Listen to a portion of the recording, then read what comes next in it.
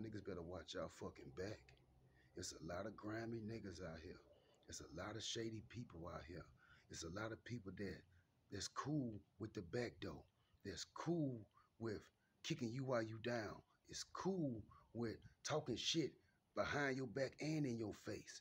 And you allow them to be your friends and a part of your circle. That's the wrong way to go. You got to grind for things. Grind alone if you have to. But don't do it with a group of fuck boys that's gonna fuck you over in the long run. I see it happen every single day. This shit has gotta stop.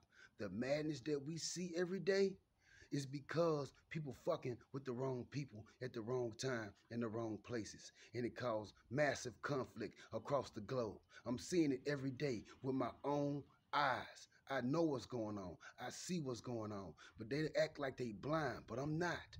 I see the bullshit for what it is. I see the hatred for what it is, the negativity for what it is. But it don't stop me because I walk with the Most High. I talk with God. I walk with God. He's everything that's in me. without him, there is no me understand. A person with that type of mind frame can't be stopped. They can't be touched. They can't be fucked with. Know why? Because they walk with a pure heart with pure intentions towards everybody they meet. But there's a lot of people out here that move sideways. They move shady. They like to stab people in the back. They like to do that fuck shit. They think it's a cool thing to do. They proud of it because they homeboys amp their mind up until they go to jail or die. Then it's a sad story. Now it's rest in peace. Then it's pour out some liquor. And everybody like oh why him? Why him? Because he chose that way. He chose that route and you was in his circle and you ain't stop him. That's your problem. You got to deal with it. That family got to go through that heartache. Well, black, drop you in the ground six feet and never see you again. Besides going to a tombstone. Do you really want that?